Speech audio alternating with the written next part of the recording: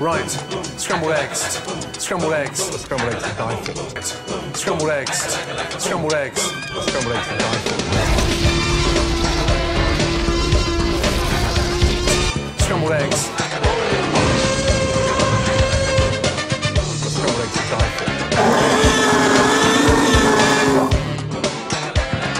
secret behind any great scrambled egg is to make sure you do not overcook it. Now, start off with cold eggs, straight in to the pan.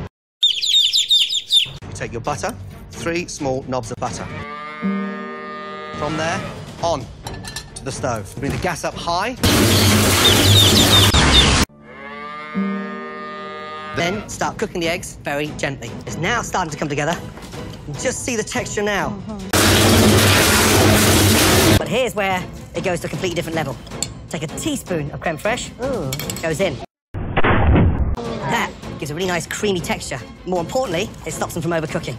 Now, come to serve.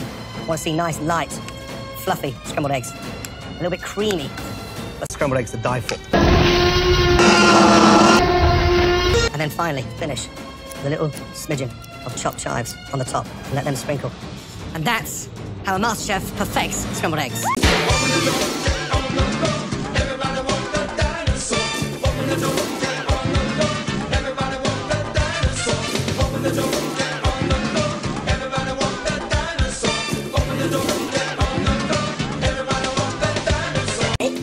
How do I look?